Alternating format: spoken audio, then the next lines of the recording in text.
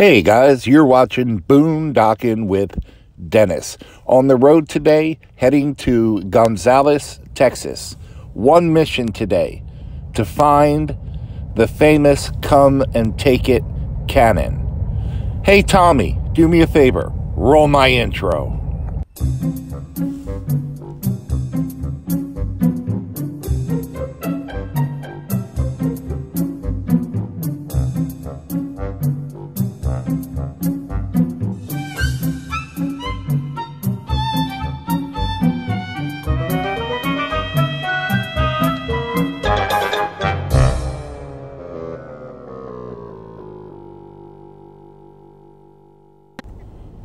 Well, guys, on the way down the road, I always try to slow down at this spot, and I do see some bison today.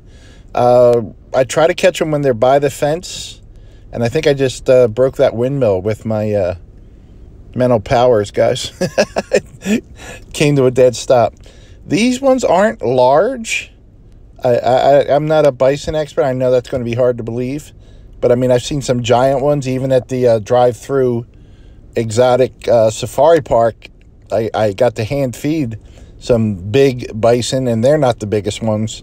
So I'm not sure about the age of these ones. And uh, I haven't even seen them the last few times I've driven through here. They've been back in those trees. So it is nice to see them, and I'm I'm always hoping they're going to be right by the fence line here so I can get better shots of them. But it's even in Texas, it's pretty cool to just be driving down the road and see bison. Uh, right outside of Gonzales, Texas, guys, home of the uh, Come and Take It cannon. So there's going to be a lot of Come and Take It flags. But first, we're going to stop at the world famous uh, convenience store uh, just north of Gonzales, Buc-ee's.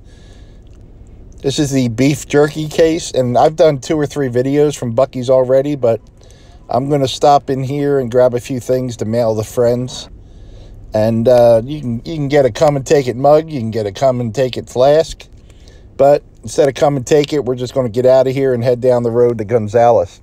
Gonzales was uh, settled by Green DeWitt and uh, Stephen Austin of uh, the Alamo fame in 1825. Uh, a land grant from the Mexican government. Don't forget, this was Mexico back then. Uh, a lot of Apaches in the area, so they had a lot of trouble uh, for years uh, fighting with the Apaches. They went uh, and contacted the uh, Mexican uh, militia that was stationed about 70 miles away in San Antonio. And Gonzales was provided with a very small cast iron cannon. Now, they knew then that this cannon would best be used as a scatter gun and they use that to help uh, with their uh, conflicts with the uh, local people. Uh, the town began to grow, and uh, things began to settle down. They, by the way, modern day Gonzales is absolutely beautiful. I'm going to give you a little tour while we're driving around. But um, Santa Anna, who is not very popular in the United States nowadays, um, he was giving the uh, settlers of the region a hard time. Uh, even though they had Mexican land grants, he did not want them in this area. So um, Santa Anna was looking through some paperwork and realized the Mexican government had uh, given Gonzales this cannon, and uh, he wanted it back. Well, Santa Anna sent two letters uh, to Gonzales to return the canyon. They said, uh, no, thank you. So Santa Anna sent six soldiers to retrieve the cannon. Uh, the people of Gonzales got word of this and they buried the cannon in a peach orchard, which it where it's uh, it, that would be about dead center downtown Gonzales. Um, so they tricked the six soldiers who returned back to San Antonio empty handed. Now, word got back to the people of Gonzales that Santa Anna was sending 100 men this time. As soon as they heard that, uh, there was only 18 able-bodied men in town. They dug up the cannon and marched to the San Marcos River That's the river that runs right through the campground we were at yesterday. Uh, to meet them head on. They also sent word out for reinforcements to other local communities. The women of the town took uh, the daughter of uh, Sarah DeWitt, took her wedding dress, and made the famous flag. Uh, cannon on the flag with the words, come and take it. Now, once they got to the river, no one could cross. The Mexican army couldn't cross. The 18 men on the other side couldn't cross. For two days, the Mexican army waited, looking for spots up and down the river uh, for a safe place to cross. This allowed time for uh, fellow Texans to come and uh, join the 18 men to defend the cannon and Gonzales.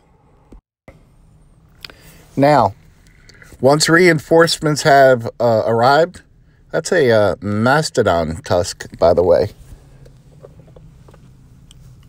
I thought that was pretty cool. Also, there's a cannon over here, guys. That is not the famous cannon. We're, we're going to get to that. So, the settlers and the reinforcements crossed the San Marcos River. That kind of took the Mexican army uh, by surprise.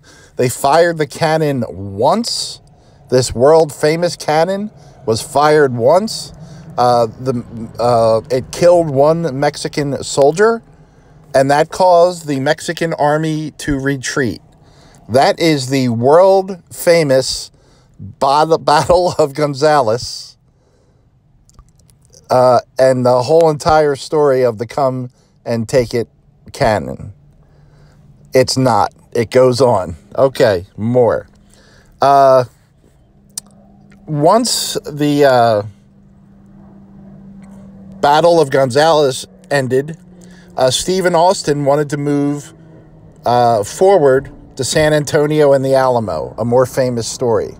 So the famous flag and the famous cannon went to uh, march to head towards San Antonio and the Alamo. Uh, the cart carrying the cannon broke down on the first day. Um, they couldn't move it. Uh, it was 79 pounds, which is pretty heavy. Uh, they buried the canyon, the cannon again. Once again, they buried the cannon at uh, Sandies Creek. Um, the famous message came out from the Alamo that we need help. Only one uh, group of people responded to that uh, plea for help at the Alamo, and that was 32 men from Gonzales. So only these 32 men knew the whereabouts of the original cannon. They get to the Alamo. They fight their way in to get into the Alamo, where every last man perished days later. Every person who knew where that cannon was buried died for Texas independence at the Alamo. That cannon stayed buried for 100 years and eight months until major flooding exposed the cannon. This is the cannon. This is the famous come and take it cannon. On display now at the Memorial Museum in Gonzales, Texas. Free of charge. This museum is free of charge. Again, I am the only one here. It's a two room uh, museum. You saw the uh, the monument out front, the reflecting pool. Uh, it's a beautiful museum. The gentleman working here is uh, very uh, knowledgeable. Actually, when when you're here, you realize that Texas, as we know it as Americans, started because of this cannon and the people around it. This is Texas come to Gonzales. They have these beautiful homes here. They have uh, several other museums that I would like to see on uh, future trips. My uh, knee does limit me. Check out this gas station. I thought you car heads might like this.